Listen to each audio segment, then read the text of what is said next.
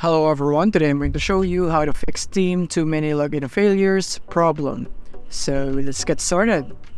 So here we are in our PC and now from here what we're going to do first is that what I'm going to suggest to you is that you first need to wait if you have a too many login failures error then the best thing you could probably do is wait for like 30 minutes one hour or depending on what Steam says with the current update right now. So yeah, you just need to wait. But if waiting doesn't work for you, then you can go to the next steps. So the first one is that you might want to change your uh, internet.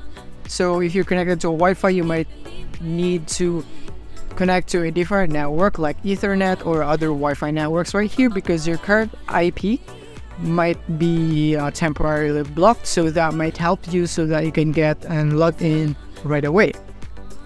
But if that doesn't work then you can go into your browser and then from here you can go search for VPNs right here and you can use some VPNs right here and try using them. And once you log in and see if that fix your problem so if that worked for you, then that means there is something wrong with the IP or something like that. So you would probably just need to wait. So this VPN is probably a solution for you so that you don't need to wait. You can get or log in immediately after you have that error. And lastly is that you can now, if you're using a Steam browser right here, so you if you're browsing Steam, then you can use it to uh, to clear the browsing data on your browser. So if you have Google Chrome so since most of you are using Google Chrome so let's use Google Chrome right here.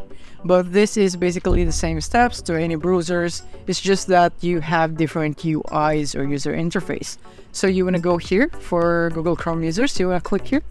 And then let's just go and do this because this is getting in the way click here and then from here go into settings and then you can go into uh, privacy privacy and security and then you want to clear browsing data and then you want to go hit all time and then you want to check all of it as possible but you can just leave the passwords right here and so on.